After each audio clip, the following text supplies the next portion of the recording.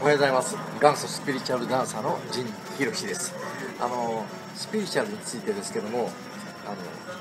何ていうのかな今水泳行ってきたんですけども潜ってるとあの瞑想状態になって水と自分しか皮膚一枚でつながってるという感じするんですね。そしてあのスピリチュアルダンサー陣博にとってはあのその存在の言い方っていうのかあの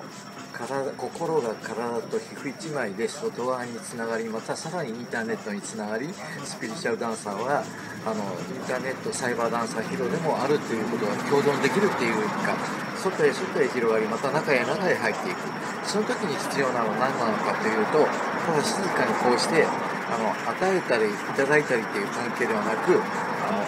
言葉に出すと薄っぺらいんですけども愛ある生き方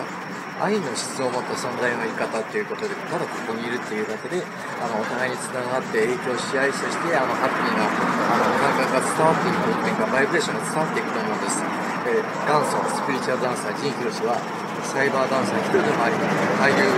そしてダンサーであると同時に、あのインターネットの達人もっともっとあのスキルをアップしていきたいと思います、えーと、愛ある存在でいることあの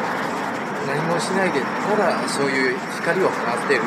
バイブレーションを出せるそんな存在の生き方愛の質そういうものをもっともっとあの自分の中に深く深く深く深く沈潜できるといいかなというふうに考えています、えー、皆さんにも水泳した時は泳ぐというその一つだけではなく自分の体心そして踊る時は血液の流れそんなものを感じるといいんじゃないかと思っています。